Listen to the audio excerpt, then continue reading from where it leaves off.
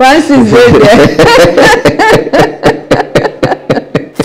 See the way you laugh. Francis, not be true talk, I uh. talk.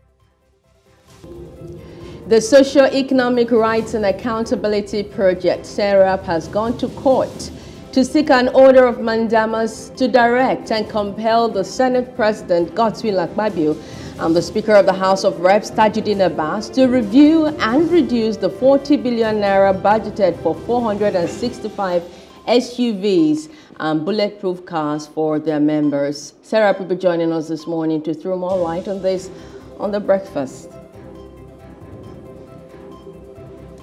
They say it takes two to tango. This is even more so when it comes to making babies. But a situation where single mothers are made to carry the burden alone has become worrisome, especially as it seems there are no specific laws to address this.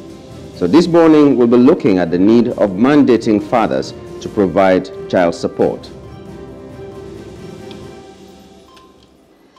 We'll also be having Off the Press, where we'll take a look at the major headlines that made it to the front pages of some national dailies this morning. Our analyst is ready to tear them apart, as always.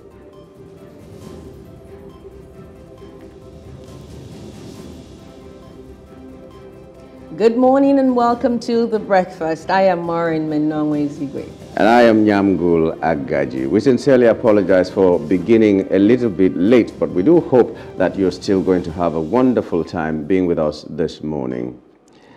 Well, this morning promises to be very, very interesting, and uh, we're talking about some things that uh, might you might be able to relate with, some that you might want to hear uh, like uh, we're talking about um, what is happening in the National Assembly and the challenge they're getting, and also what happens at the family front, mm -hmm. uh, where some people just abandon uh, their children because um, of a divorce, because of uh, whatever the reason is, but some people become um, single mothers, and then not only are they single mothers, but they have, are made to take the entire burden of raising these children. So no matter what, no matter how, how good the person might be, how comfortable the woman might be, uh, whoever is also responsible for the children should contribute in some way to the raising of these children. Yes, child abandonment is, is, is a major thing in the world today. Mm -hmm. uh, but even worse so in Nigeria, because, I mean, we know what happens in some of the climes where child support is taken seriously by the government. Mm -hmm. So the father in the picture is made to take responsibility and pay a certain sum mandatorily to the woman for the upkeep of the children. Mm -hmm. But here in Nigeria, it's not the case. It's not the case. The men, a lot of men, uh, abandon their children um, and leave everything to the woman to just cater to the needs of the, the, the poor children. And so because we, in this part of the world, they believe that at the end of the day, the children will always look for their father, mm. so they just roam yeah. around, and, and, and at the end of the day, children actually do look for their fathers, right? Yeah. But then, what does that say about you as a man? No matter what you are, no matter how successful you claim to be, if you are an irresponsible father, if you failed in the home front, you are a total failure. Yeah, where, where else? Failure. Where else? You, uh, the Bible says you're worse than an, an infidel. Mm -hmm. You mm-hmm. cannot provide for your family and all that. So no matter what the reason for the separation might be, whether it was bitter or, or whether it was sweet, whether it was uh, mutually agreed upon and all that, the children had no say in it, as it is. So uh, for them to suffer what uh, was the problem between you and the woman. It doesn't make real sense to me. Uh, but anyway, when we're looking at this thing, we'll be looking at both ways though. Because when we say some fathers are not responsible, we should also know that some mothers are not responsible. Definitely. So whoever contributed to making a baby should also contribute to sustaining that baby. Yes, even though today we're taking a look at specifically Women. at getting the fathers mm. to support the children financially. Mm -hmm getting them to support the children financially because we know, I mean, the rates are higher. If you want to compare single mothers to single fathers, the rates are higher. You, Mm-hmm. it's, it, you find more single mothers than you would find single fathers. And then, of course, we also know that men are usually more economically sound in most cases than women. No, it's true. That's the case. I haven't said because, anything. I'm yeah, just because sometimes you find a situation where the women had to give up their careers to just stay home for some time, Yeah.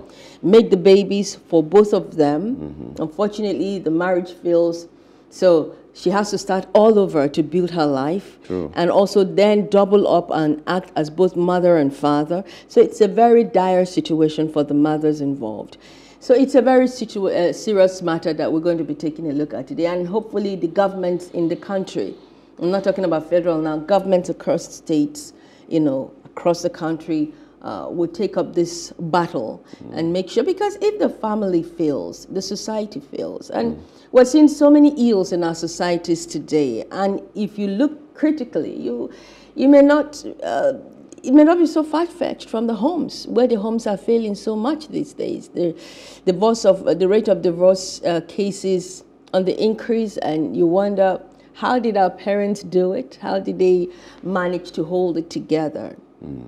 Yeah, well, that will be a matter for another day. But Yeah. today, let's just look at what the top trending is. You might want to take the first one. Yes, Kano revokes license of all private schools in the state. The government says certificates of all private schools operating in the state have been revoked with immediate effect. And special advisor to the governor on private and voluntary institutions, Baba Abubakar Umar, announced the decision at a meeting with the proprietors of the private schools.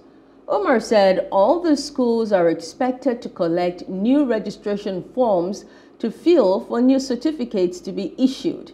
He said the move was part of the state government's comments towards your commitment towards sanitizing the operations of private schools and to ensure adherence to established laws and guidelines.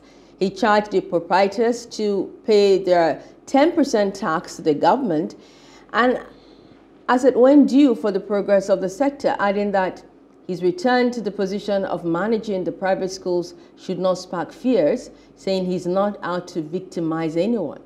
And speaking on behalf of the proprietors, the chairman, National Association of Private School Owners, Kano State Chapter, Mohammed Malam Adamu, described the move as fantastic and commendable as it will further boost the education sector in the state. What are they going to do when the people come back to re-register that they cannot do when they're still there and sanitize the whole thing?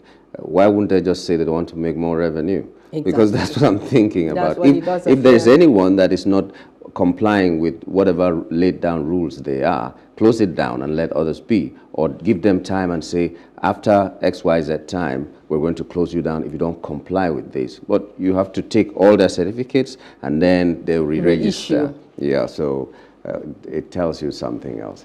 Okay, the second one is uh, that uh, the IG, that's the Inspector General of Police, uh, is to establish a special intervention squad. Uh, he's the acting Inspector General of Police anyway. He has not been confirmed yet, Kayode Egbetokun, and he has announced plans to establish a special intervention squad to deal with security uh, threats in the country. He disclosed this when he led the police force uh, management team on a courtesy call uh, to Governor Abba Yusuf of Kano State on Saturday at Government House.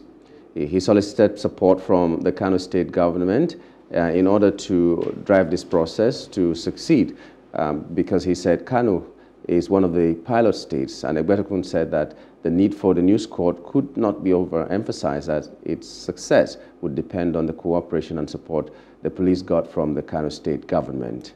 Okay, so now um, he's calling it a special intervention squad. And I don't know, is there anything in the name? Because will it be different from the SARS that brought the problems of mm-hmm. EndSARS? Because whenever there's a special intervention squad, Yeah. it is the same orientation they give to them. You are special, you need to do this. Yes, they do the work, but sometimes they overstep. And that's why we had extrajudicial killings. That's why we had unlawful detentions. That's why we had uh, what some people felt was uh, was witch hunt and all that. And then you are just young, you have braided hair, or you have a tattoo, you're being arrested, and all You're those kind of things. laptop yes. on your way so, to wherever. so w- what marked difference will this special intervention squad have from the SARS that people cried about? I guess one can just but only hope that they've learned from the SARS story and experiences and all that mm. came out from the shortcomings from that squad and that they will reorientate this set of special squads to mm. do better Yeah. having experienced the SARS tragedy. I mean, so police should be police. They are the people who should be trained or who are trained supposedly to be able to relate with the civilian population. So they should they should have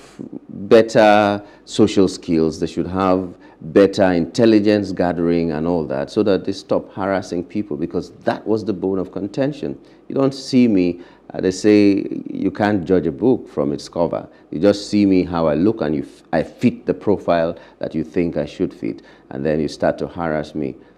Special intervention squads are good, but let them stop overstepping. If that can be done, even if they want to have 10 of them, I, I am for it. Mm-hmm. But they have special re- rapid response squad, they have so many other squads. What is special about the special squad that others cannot do?